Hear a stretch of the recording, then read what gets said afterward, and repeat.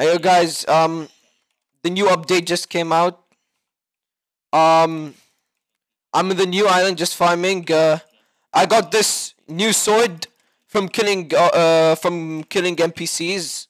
I just got this uh drop. It was a hidden key. A grey hidden key. And then um You're supposed to come here to a secret area and then open up this chest. And then you get this rare drop. It's meant to be a rare drop. It's a legendary rarity. And I haven't leveled it up though. Bye.